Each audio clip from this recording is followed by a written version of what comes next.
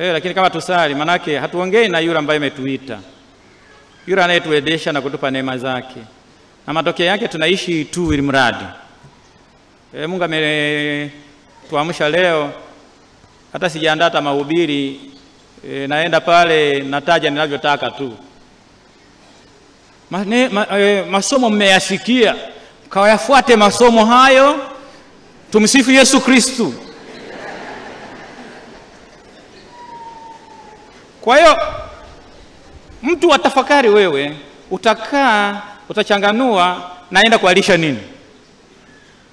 Utasali, utaomba neema za Mungu zikusaidie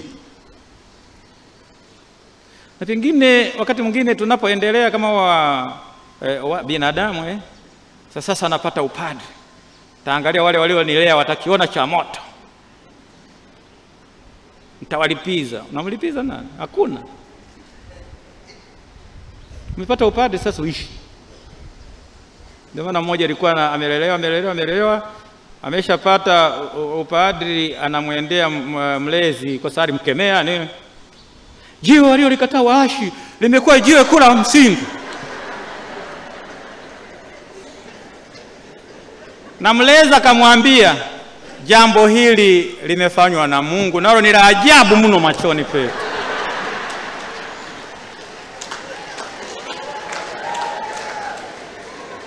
Kwa usijidai kwamba umejifanya wewe, hili limefanywa na Mungu.